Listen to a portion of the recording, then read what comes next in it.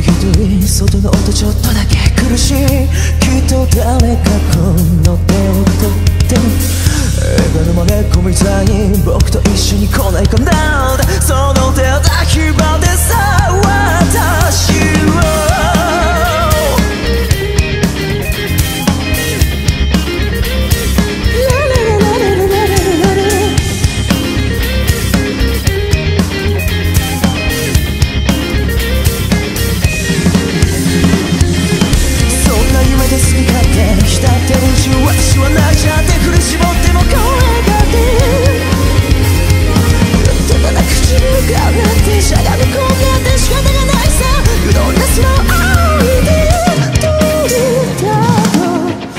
泣きそうな人生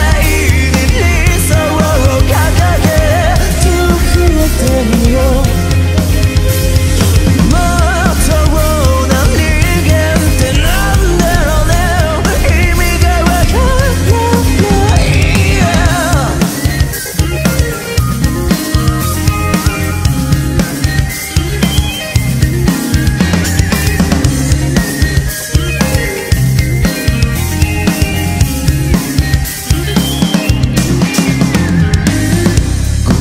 50以上回った冷え切った心も泣き疲れた私のもと。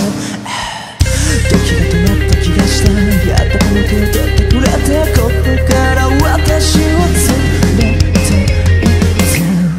夕方に踊るどこか切なく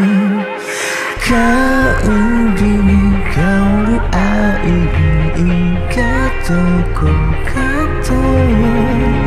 気がついたら手を気がれてて思うがまま私を抱きつけて一人きりの現実からあっという間に私を抱いてそっと私に口づけをしてもっとあなたのもの